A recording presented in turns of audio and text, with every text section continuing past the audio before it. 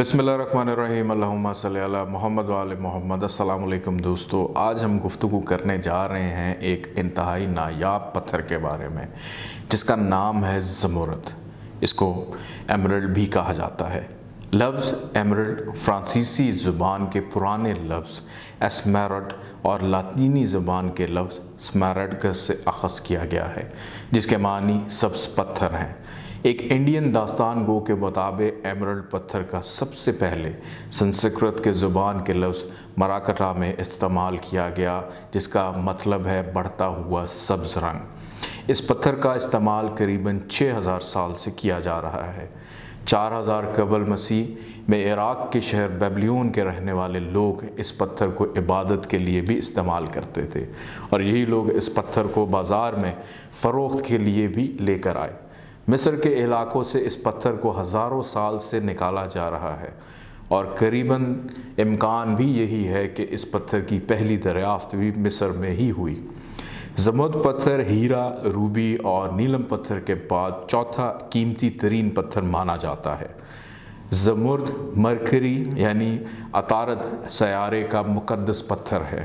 جسے ایک طویل عرصے تک امید کی علامت سمجھا گیا ہے۔ یہ محبت و پیار کی حفاظت کا پتھر ہے۔ یہ پتھر اصل میں سبز رنگ میں ہی پایا جاتا ہے۔ اب ناظرین، اس کے خواص کیا ہیں؟ زمرد خوبصورت ترین اور قیمتی جوہرات میں سے ایک۔ یہ معدنی زبرجد کی ایک قسم ہے۔ زبرجد میں کرومیم اور وینیڈیم کی قلیل مقدار میں موجودگی کی وجہ سے ہی پتھر منفرد اور عمدہ سبز رنگ میں پایا جاتا ہے۔ اس کا کیمیائی formula B E three A one two S I O three six ہے اور فارمولا میس پانچ سو تہتر اشاریہ پانچ ہے۔ یہ پتھر سخت ترین پتھروں میں سے ایک ہے، جس کے سخت پن کا سکیل سات اشاریہ پانچ سے لے کر آٹھ ہے۔ زمد پتھر کی کثافت قریباً دو اشاریہ سات چھ فیصد ہے۔ کون کون سے افراد زمد پتھر پہن سکتے ہیں؟ یہ پتھر مئی کے مہینے میں پیدا ہونے والے لوگوں کا پیدائشی پتھر ہے۔ اس کے ساتھ ہی برج سور، برج سرطان اور برج ہوت والے افراد بھی اس پتھر کو پہن کر کثیر فوائد حاصل کر سکتے ہیں۔ اب دیکھنا یہ ہے کہ زمود پتھر کہاں کہاں پہ پایا جاتا ہے۔ سبز جھیل کے شفاف پانی کی رنگ رکھنے والے زمود پتھر کا سب سے وزنی پتھر، جس کا وزن ایک سو اکتر اشاریہ چھ گرام ہے۔ کولمبیا کے ایک علاقے کی کان سے انیس سو سڑسٹھ کو دریافت ہوا ہے۔ یہ بہت ہی نایاب پتھر ہے۔ اس پتھر کی کانیں کولمبیا، برازیل، افغانستان اور زیمبیا میں پائی جاتی ہیں۔ یہ پتھر سرزمین مصر سے قریباً پندرہ سو سال قبل مسیح سے نکالا جا رہا ہے اور انڈیا اور آسٹریلیا سے چودھویں صدی عیسوی سے نکالا جا رہا ہے۔ اس وقت کولمبیا دنیا کی ضرورت کا پچاس سے پچانوے فیصد زمرد پتھر پیدا کر رہا ہے اور زیمبیا اس پتھر کے ذخائر رکھنے والا دوسرا بڑا ملک ہے۔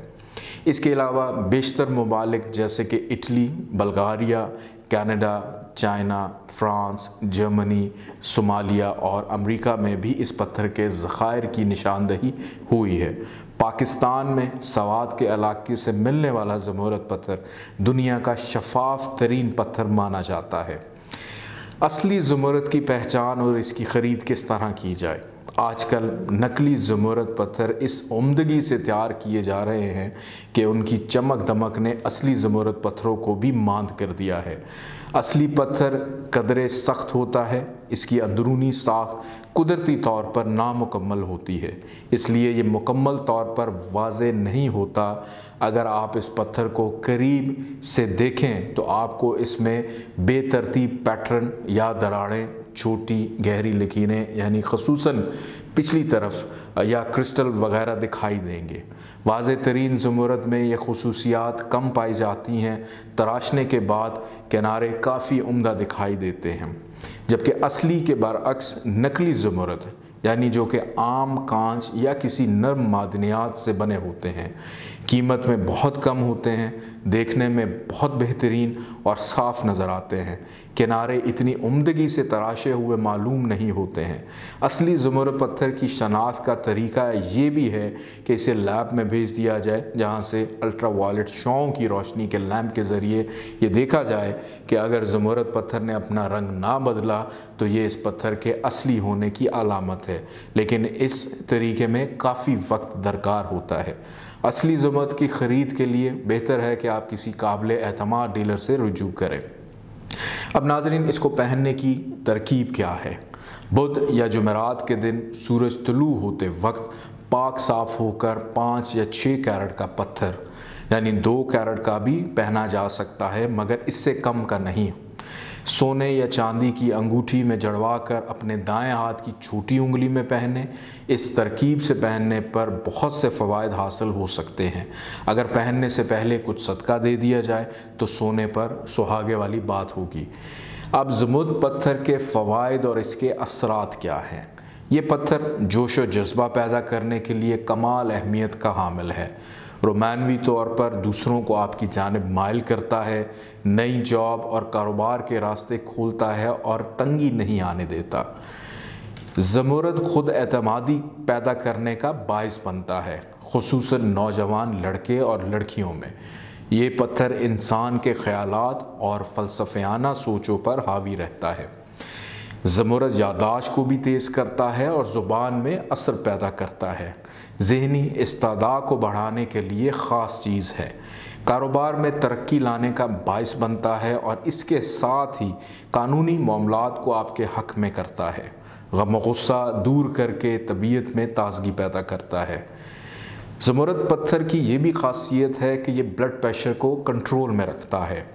یہ پتھر جسم کی پتری کے لیے تریاق ثابت ہوا ہے۔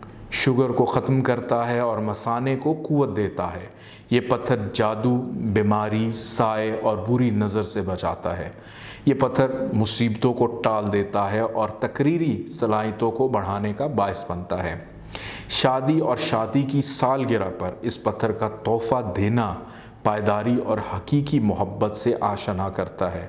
اب اس پتھر کی حفاظت جو ہے وہ ہم کس طرح سے کریں؟ زمود پتھر بہت ہی نایاب اور قیمتی پتھر ہے اور بڑی ہی مشکل سے خالص حالت میں ملتا ہے۔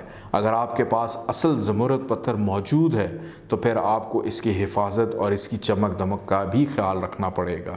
اس لیے اس پتھر کو گرم پانی، صرف وغیرہ سے چھوٹے نم برش کے ساتھ صاف کریں۔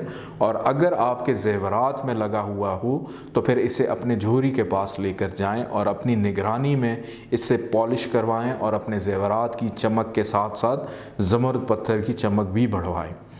سب سے اہم اور قابل غور بات کیا ہے؟ اسٹرالوجیکل نقطہ نظر کے مطابق، اگر زمورت پتھر کو پہننے والا اپنی پاک دامنی کھو بیٹھے، تو پتھر دو ٹکڑے ہو جاتا ہے یا اس میں شگاف پڑ جاتا ہے۔ اس پتھر کا زیورات سے نکل کر گر جانا یا گم ہو جانا ہمیشہ بڑے نقصان کا پیش خیمہ ثابت ہوتا ہے۔ ایسی صورت میں کثرت سے صدقہ خیرات اور استغفار کا ورد ضرور کریں۔ ان شاء اللہ تعالیٰ کسی نئی ویڈیو کے ساتھ پھر حاضر ہوں گا. اجازت دیجیے اللہ حافظ.